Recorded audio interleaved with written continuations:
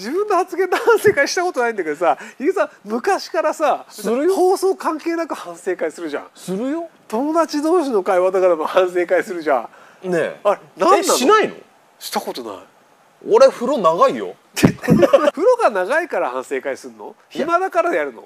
一人になれる空間なんだよねお風呂って、うんそうだね。ってなるとやっぱいろいろ出てきちゃうんだよ頭の中に。思い返されてて、うんでその時にあーあの時なんかせっかくいい振りとかがあったとかあここでボケれたなとかっていうのは考えちゃうな。僕が本来ちゃんと説明すれば納得してもらえたはずなのに、うん。僕の説明がたどたどしくてなんか全然違う理由でこう怒られたりとか。はいはいそういうのはやっちゃうね。今ほら人前に出てるから言っててもおかしくないけどさ、うん。その普通の大学生の時代からやってたじゃん。このコメントのはい。プロかよって違うんだよ。これ勉強か違うんだよ。他に能力を使うべきなんだよこのしょうもない話を何度も反数して、うん。でしょうもない回収しかいまだにできないんだったらそこ時間を費やすべきじゃないから勉強かは間違ってる。